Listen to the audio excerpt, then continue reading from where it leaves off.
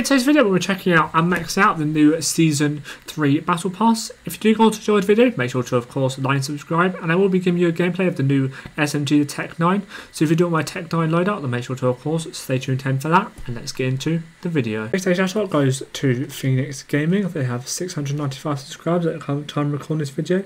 And yeah, they do many skins related content, so if you do go over and enjoy their videos, then make sure to, of course, like the videos you do enjoy and subscribe to the channel if you do enjoy the channel in general. Of course, I'll be down below in the description and up on the screen here. Make sure to go over, be supportive, believing in the supportive comments on how they can improve their videos, and be positive, believing in the positive comments what you enjoyed about that video. So yeah, make sure to go over, be positive, be supportive, and let's get into the video.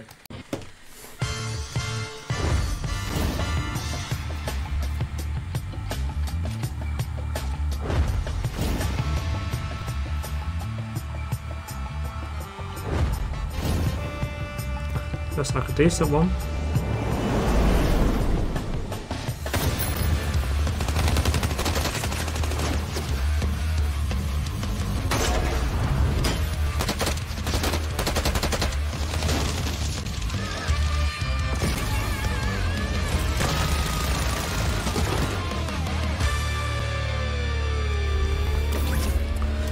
Yeah, that's pretty cool, that's pretty cool.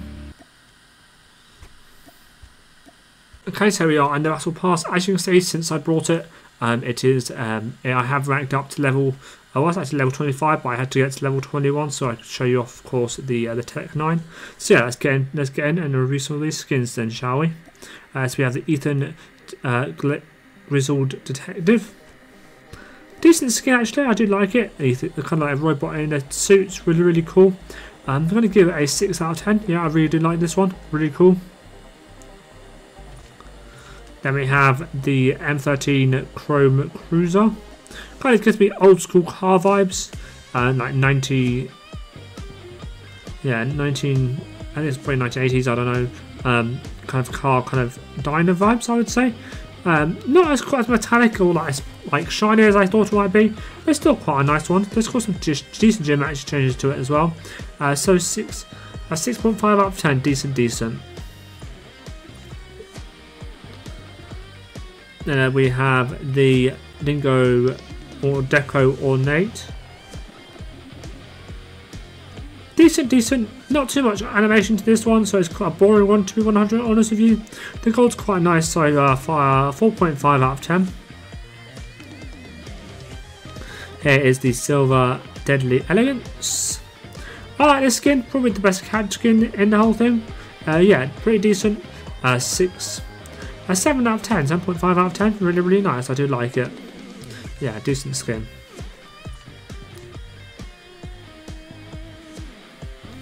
We have the, um, yeah, this, uh, whatever this is. Here's the emote. Safe cracker.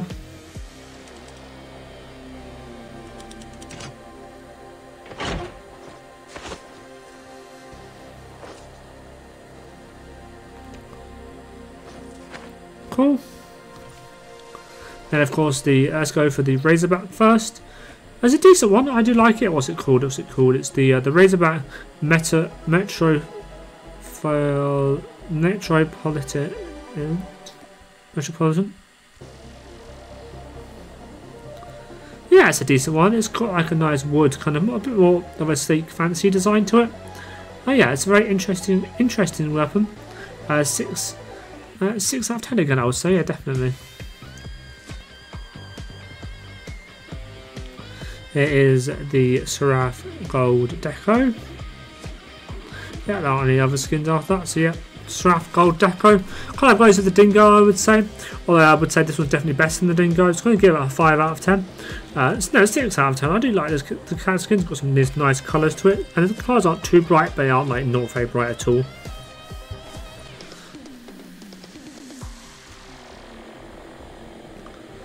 So yeah, then we have the HDR Juniper Line Express. I'm assuming it's themed after a uh, a train.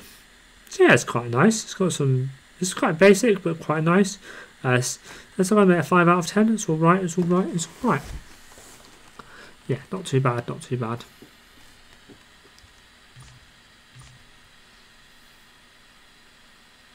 Here's the backpack, if you care about that. Light backpack. Expeditioners like light backpack. Then finally we have the TEC-9 The Classic. A bit of a boring skin to be honest. Uh, it's definitely it's got uh, yeah different obviously, but uh, yeah I would say it's a bit boring, uh, a bit bland. Uh, maybe if you stick a a thingy on it, a uh, camo on it, it might be a bit better. But other than that, yeah, uh, three out of ten.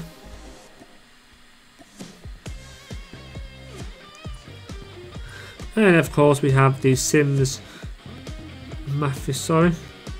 Mafioso. It's alright skin. A bit of a boring one, a bit more of a realistic one I'd say. Uh, so yeah, gonna give it a, uh, a 6 out of 10 from me.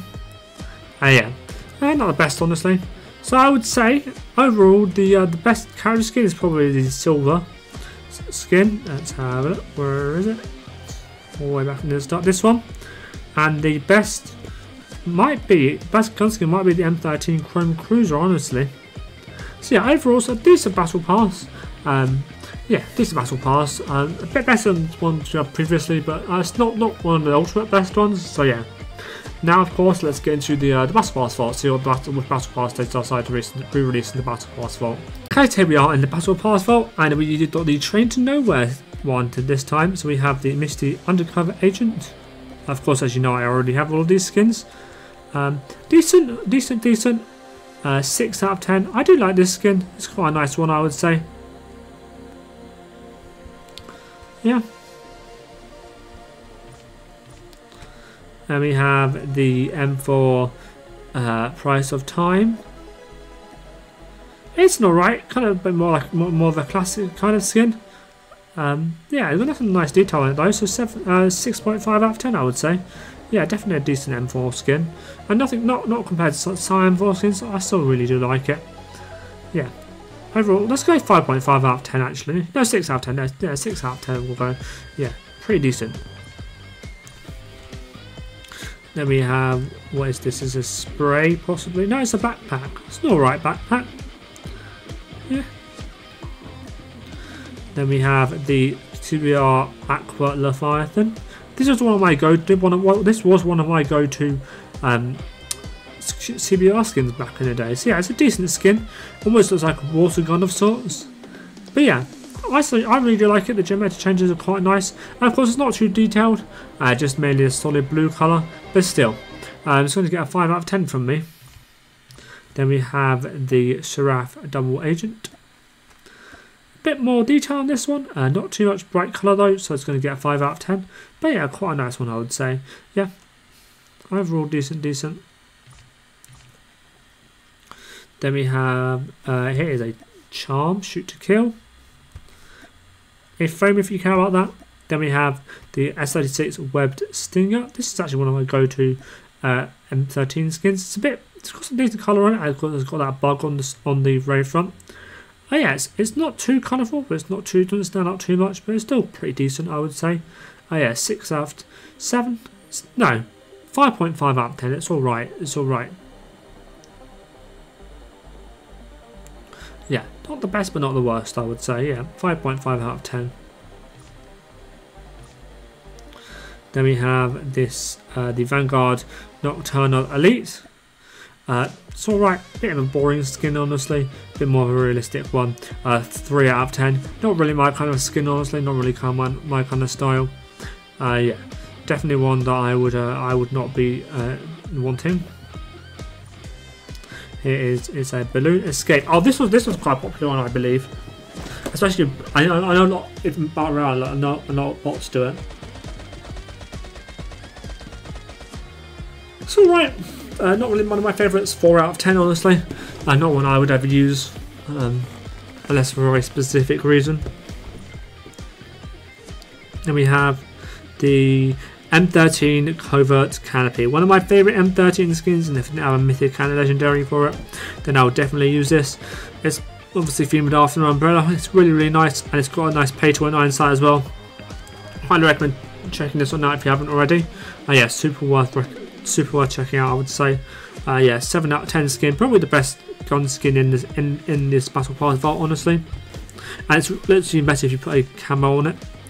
And then we have the Adler Dapper skin. Yeah, the basic one honestly. Uh, just just in a suit. Uh, 5.5 out of 10. Not too not not not not not too too much special in this one honestly. And then finally we had the uh, the ZRG. Uh, is it what's it called? The ZRG Jade. Uh, I've actually seen this one is quite pay to lose, uh, so they're, maybe, not the best one to have, or even use. Sorry, it's, it's, it's a decent look, looking skin, uh, but of course it's got a very bulky scope, so it's um, very much pay to lose, I would say.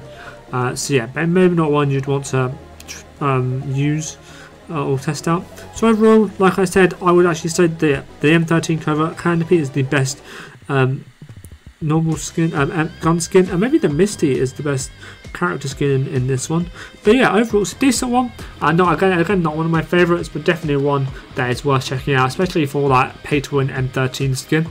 Uh, so yeah, definitely, definitely a really nice one, I would say. Yeah, overall pretty decent, I would say.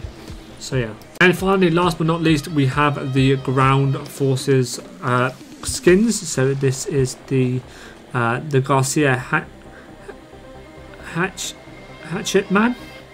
Uh, quite a clean one, quite a smooth one. It's, uh, it's uh, if, if, there wasn't any bloodstains on it, it would be uh, be a better one.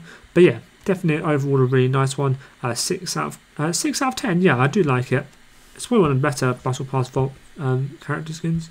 Then we have the AK-17 Vintage on vin uh, Vintage Vintage Roadster. It's all right. Not too much. Not too much decent on this one. The red's quite nice actually and, the, and the, it goes well kind of like a goldy bronze colour because uh, it's a darker red of course so yeah six out uh, five five out of ten I would have liked a bit more animation on it honestly and finally here is the um, backpack alright alright not, not nothing too special again uh, so yeah now let's get into of course my gameplay with my first ever gameplay with the Tech 9